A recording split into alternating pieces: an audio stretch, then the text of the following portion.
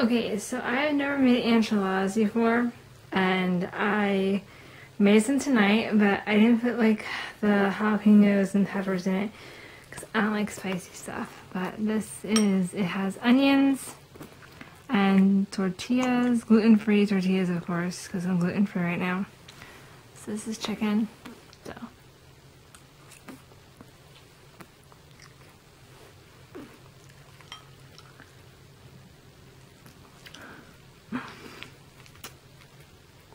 It's good. I like it.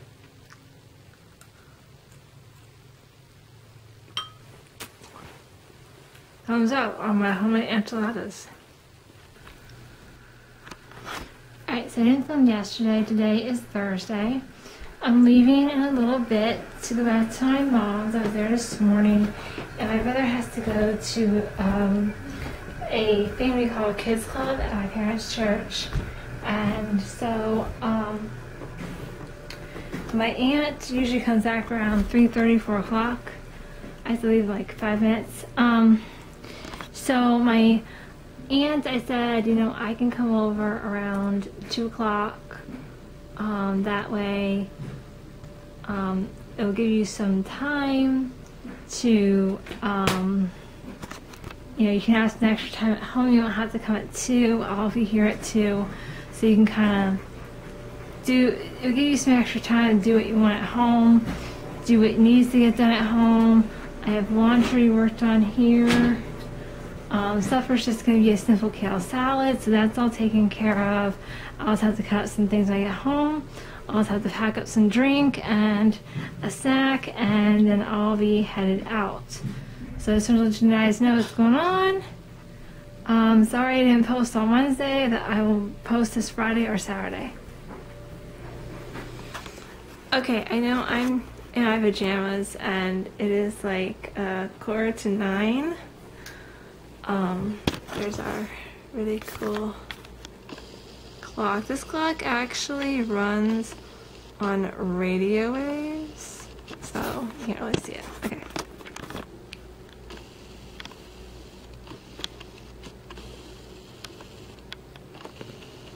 Sorry about the zoom in, trying to get to go all the way back out.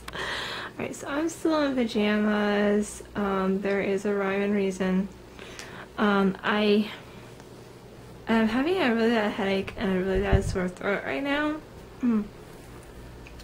So what I'm going to do, that's why I'm doing this early this morning, because um, I don't know if I'm going to have a voice later.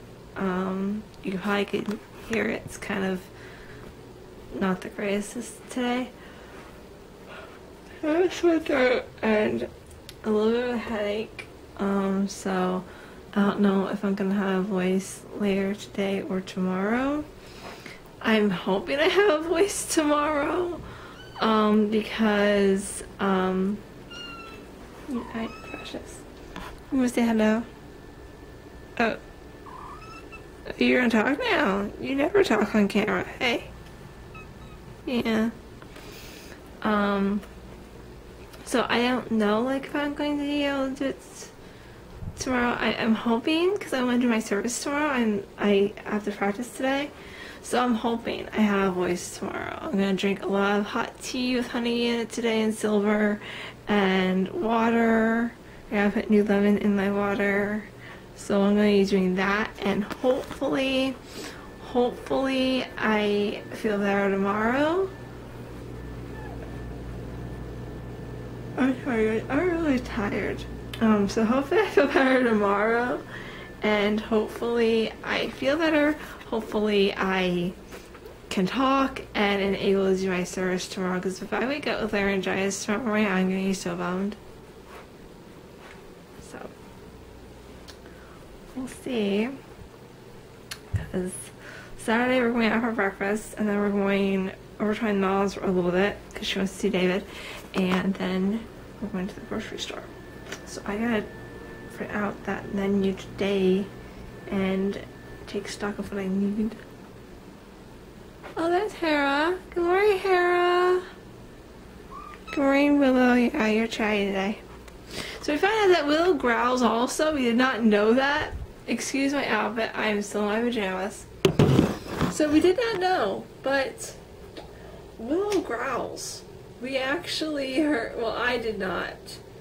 David heard her growl on Wednesday when he was home and I was at counseling, so. Yes. So, I will try to do an intro this weekend. I know exactly what I want to do. I just need to find out a way to do it. So, hopefully. Hera's eating and it's just like, it's like she's starving. It's Christmas. Alright. I will talk to you guys Monday. I'll be doing a live. Hopefully my voice does not go. Bye bye. Alright, like and subscribe. If I get 20 subscribers, I will get $20 of infant clothing to a foster care organization. I know we didn't talk much about certain things this week. I promise next week we'll get more into that. I just want to tell you one thing that I have learned growing up in a Christian household. You always can say you have the sickness, but you also want to say the sickness does not have you.